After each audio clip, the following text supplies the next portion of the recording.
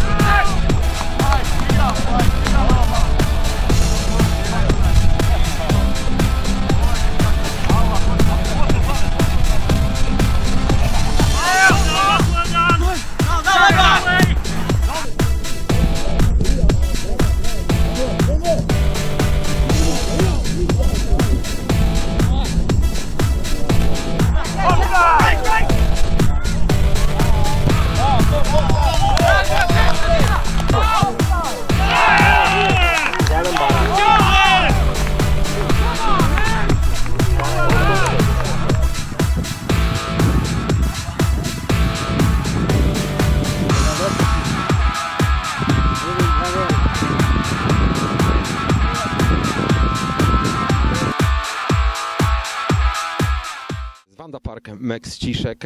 Jesteśmy po pierwszym meczu ligowym drużyny White Eagles. E, Rozmawiamy z trenerem drużyny Emilem Zarębą, e, który był kiedyś byłym zawodnikiem, byłym utatuowanym zawodnikiem, zdobył wiele tytułów z naszym zespołem i teraz e, swoje doświadczenia piłkarskie przekuwa jako trener. Emil, powiedz nam o dzisiejszym spotkaniu. Graliśmy z drużyną dosyć mocną, z drużyną FC Bośnia.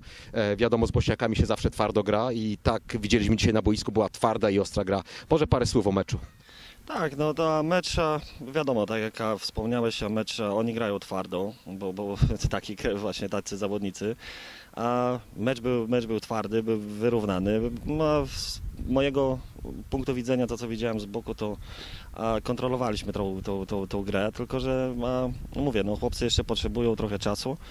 A muszą się zgrać, bo mamy dużo chłopaków z college'u, którzy, którzy pierwszy raz z nami grają, trenują musimy, no, ja widzę dużo pracy jeszcze, musimy dużo poprawić rzeczy. No, no, trochę piłka musi być szybciej rozegrana, środek pomocy i, i napastnicy. No.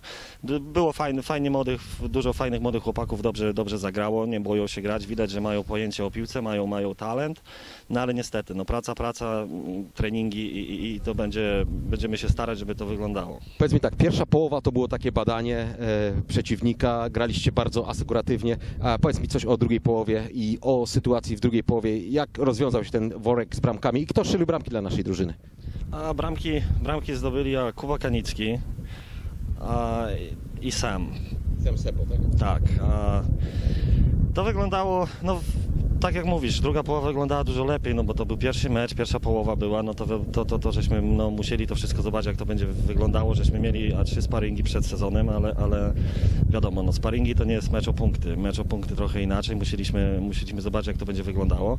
No i w przerwie rozmawialiśmy z chłopakami, powiedzieliśmy chłopakom, że bardziej, trochę bardziej agresywnie, bardziej do przodu i, i, i no i dobrze, no cieszymy się z debiutu, cieszymy się z wygranego meczu 2-0. No i oby tak dalej. No życzymy sobie tego razem z Piotrkiem Gołdynem, żeby, żeby, żeby to tak wyglądało dalej. Że tak e, z pozycji obserwatora to widzę zupełnie inną drużynę niż w tamtym roku, ale, ale mamy, mamy takie przykre doświadczenia, że zawsze sezon zaczynał się dosyć dobrze, e, było dużo zawodników na zmianę, a kończyło się tak to, że, że cały dorobek punktowy, który zgromadziliśmy na początku sezonu był roztrwaniany na drobne. Jak wygląda sytuacja kadrowa w tej chwili drużyny? W tej chwili mamy 20, 20 zawodników, 23 bodajże zarejestrowanych. A pracujemy nad tym, bo doskonale zdajemy sobie sprawę z tego. Ja dos, ze swojego doświadczenia, grając w piłkę, tak samo jak i Piotrek, doskonale wiemy, jak to, jak to wcześniej wyglądało i właśnie nad tym pracujemy cały czas. A Piotrek strasznie dużą robotę właśnie w tym robi, bo, bo, bo cały czas dzwoni, pisze, z chłopakami jest w stałym kontakcie i właśnie pracujemy nad tym, bo nie chcemy, żeby to właśnie tak wyglądało, jak, a, jak to miało na przykład miejsce za czasów mojego grania, żeby nie było tak, że na pierwszym meczu mamy 20, 20 paru chłopaków, a później a, przychodzą kolejne mecze i, i, i- nie mamy kim grać. Właśnie my na tym cały czas pracujemy i, i, i na tym się skupiamy bardzo. To, to, to, do tego dążymy właśnie, żeby to nie było tak, że się pojawią chłopcy na, na, na jednym, dwóch meczach, będzie 20, później połowa się nie pojawi. To właśnie to, to, no to ciężkie, wiesz, jak, sam wiesz jak to wygląda, prawda? Także no my nad tym pracujemy i, i, no i chcemy. No, my, mamy nadzieję, mamy młodych chłopaków, mamy młodą drużynę. Mówię, a dużo chłopców jest, a, którzy, którzy po raz pierwszy grają z nami, także no to też potrzeba czasu, chcą grać, bo widać pokazują wolę walki, ambicje, przychodzą na treningach, się pokazują i do tego, do tego dążymy, żeby to właśnie, żeby, tego, żeby to się nie powtórzyło już więcej. E, Powiedz mi, bo jesteśmy drużyną etniczną, e, jaki jest skład drużyny teraz, e, porównując ilu jest Polaków lub polskiego pochodzenia zawodników? No mamy, mamy, mamy kilku, kilku Polaków, no Roman Kuźnicki jest, a, a Kuba Kanicki przecież tak samo.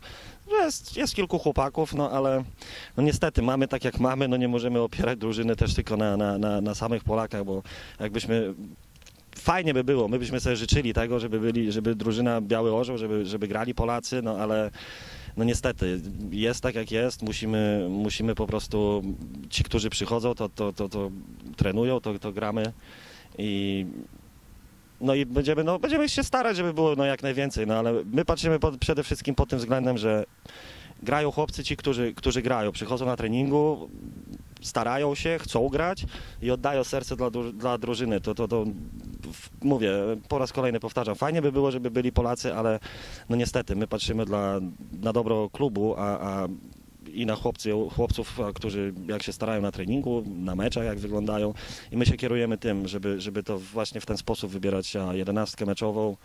A, także tak, no zobaczymy, mówię, staramy się dalej, zobaczymy jak będzie. Miejmy nadzieję, że to będzie wyglądało tak, jak to było dzisiaj. E, Przypominam może, kiedy odbywają się treningi. A treningi są w każde wtorki i czwartki o godzinie siódmej, także wszyscy zainteresowani bardzo mile widziani są. Prosimy tylko, byśmy właśnie z trenerem, byśmy sobie właśnie życzyli, prosili, a chłopaków, że którzy się decydują na przyjazdy na, na, na treningi, a to żeby przynajmniej te, te 15 minut byli wcześniej, że, żebyśmy, mamy mało czasu, byśmy chcieli wykorzystać ten czas, zorganizować to wszystko, że te dwie godziny tego treningu, żeby to było właśnie zorganizowane wszystko, żeby to, to, to wyglądało nie tak, że siódma godzina przyjeżdżają, siódma 15 zaczynamy trening, my chcemy zacząć od siódmej załóżmy do dziewiątej, dwie godziny i żeby to wszystko właśnie miało ręce i nogi. My nie, nie, nie, nie chcemy tak, żeby to było, musimy się trzymać razem jako drużyna, na dobre i na złe, no cóż. No i ostatnie pytanie, e, czy widzisz nas w pierwszej trójce na zakończenie sezonu?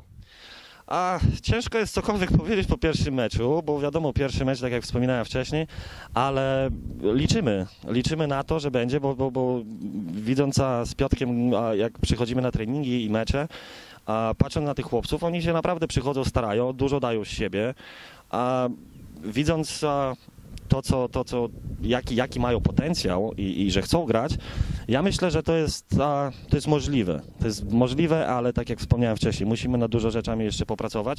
No i zobaczymy, boisko wszystko zweryfikuje, także będziemy, byśmy bardzo sobie życzyli tego, żeby była pierwsza trójka.